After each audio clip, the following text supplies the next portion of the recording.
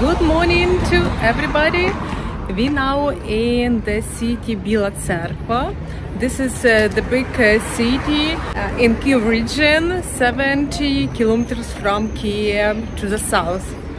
As you can see, everything is fine here. There is uh, the city market. And now we going uh, by trolleybus uh, to local cathedral and I would like to take uh, you with me. This is uh, the local trolley bus. I think it's uh, just uh, here from the Soviet time because it looks like very old. This is how it's look inside.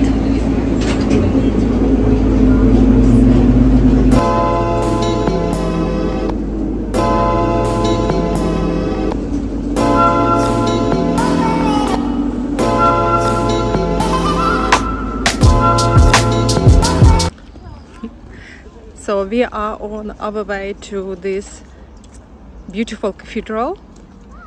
It's called the White Church, Bila Tserkva. The city Bila Tserkva got name from this church. We think so. Probably the first cathedral that was here, the first church was white. A week ago here was the big fighting uh, for this cathedral it's uh, belong to Ukrainian church, so-called Moscovian Patriarchy. And many Ukrainians think that the leader of that church is uh, Patriarch Kirill, who now in Russia. That is why this church was uh, took over by uh, Ukrainian national church. And now there is service.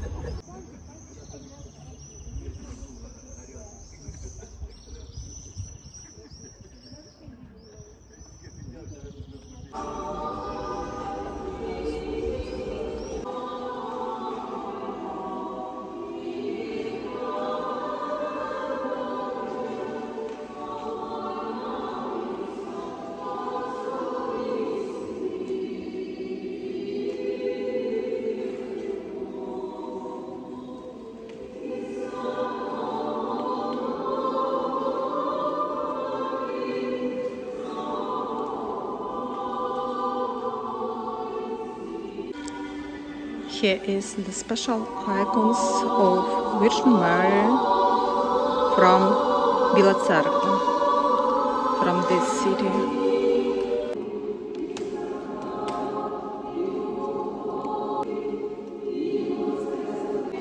Some frames are without icons because they were taken by previous church. The cathedral was built in 1830 more than 150 years ago in classic style. It was built by local noble lady Alexandra Branitska.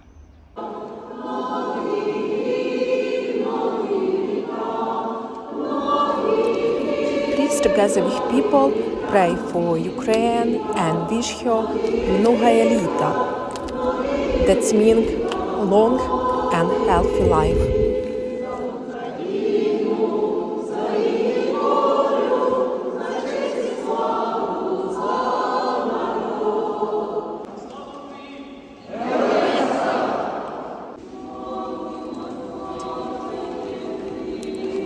Can hear special praying to God for Ukraine.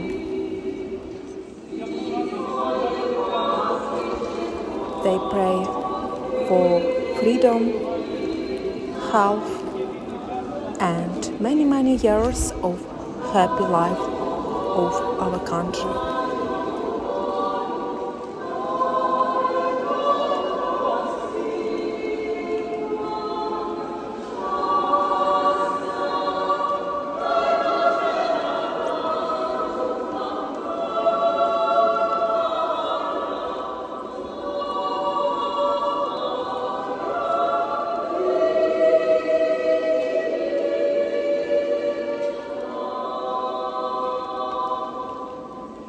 In the church we had uh, a talk with uh, Ukrainian military Andrew.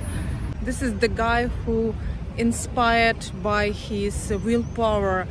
He lost his arm and leg on the war, but he has so many positive attitude.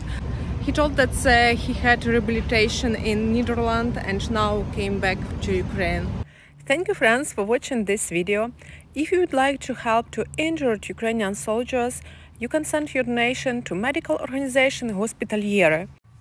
Volunteers of this medical organization work in the hottest place along the front line.